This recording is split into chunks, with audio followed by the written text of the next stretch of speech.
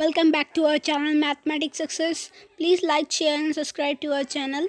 We- Today we will discuss about the superlatives in India. Largest state in term of area Rajasthan.